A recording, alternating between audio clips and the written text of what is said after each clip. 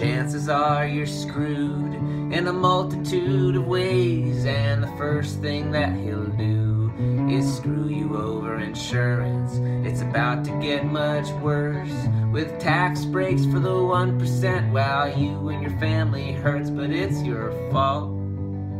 Yeah, it's your fault. You voted for him, blame yourself, now it's your fault.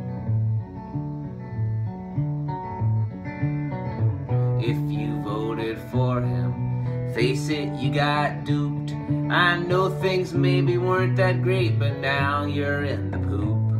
And furthermore, your decision screwed it for the rest of us. So I can't really feel sorry for you because you really messed it up and it's your fault.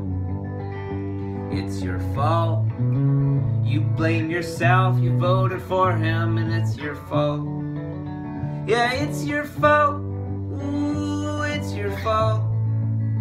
You voted for him, blame yourself, it's your fault. If you voted for him, I hope you'll come around and next time make a better choice and not follow the sound of the blustering, hyperbolic, xenophobic bigot. He'll take your support and he will beat you down with it, and it's your fault. Your own fault.